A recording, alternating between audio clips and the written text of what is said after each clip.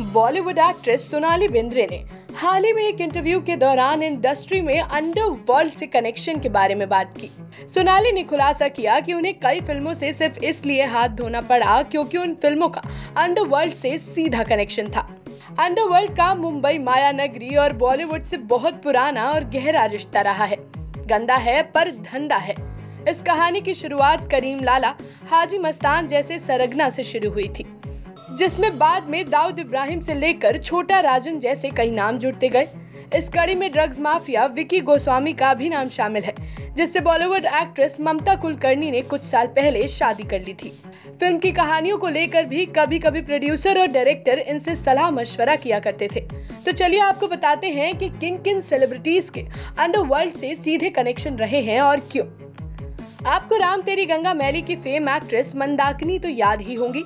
ऐसा माना जाता है कि मंदाकिनी की दाऊद से नजदीकियाँ काफ़ी रही हैं। दाऊद से अफेयर के बाद मंदाकिनी का बॉलीवुड से कनेक्शन भी खत्म हो गया था। वहीं करण अर्जुन की फेम एक्ट्रेस ममता कुलकर्णी का दाऊद के साथ ही डॉन छोटा राजन से रिलेशनशिप रहा। वहीं कुछ समय बाद उनकी नजदीकियाँ ड्रग्स माफिया विकी गोस्वामी से भी बढ़ने लगी और कुछ सालों बाद उन दोनों ने शादी कर ली। पाकिस्तान अदाकारा अनीता आयूब ने बॉलीवुड में तो कोई खास कमाल नहीं किया, वो बस एक फ़िल्म में ही नज़र आई थी। लेकिन दाऊद इब्राहिम से उनकी काफ़ी नजदीकियाँ रही। ऐसा कहा जाता है कि जब अनीता आयूब को एक मशहूर प्रोड्यूसर ने अपनी फ़िल्म में कास्ट करने से मना कर दिया था, तब दाऊद ने उसकी हत्या करा दी थी।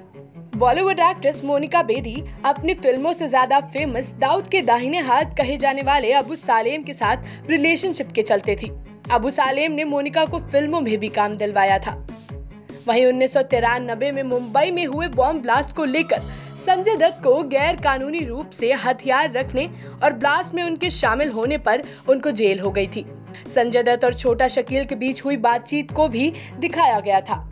टी सीरीज़ के मालिक गुलशन कुमार की दिन दहाड़ी गोली मारकर हत्या कर दी गई थी। ऐसा माना जाता है कि उनकी हत्या दाऊद इब्राहिम और अबू सालेम के कहने पर हुई थी। 2000 में आई कहो ना प्यार है। इस फ़िल्म ने काफ़ी अच्छी कमाई करी थी। कहा जाता है कि इस कमाई का अंडरवर्ल्ड डॉन अली बाबा बुदेश हिस्सा चाहते थे।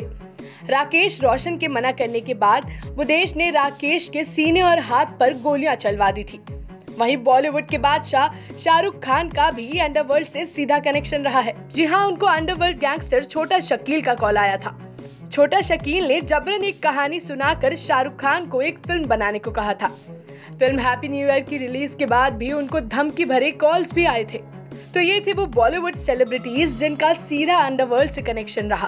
पर आज भी कई ऐसे सेलिब्रिटीज हैं, ऐसा कहा जाता है कि जिनका अंडरवर्ल्ड से आज भी कनेक्शन है। For more interesting videos keep watching Bollywood Khabri Janhit Times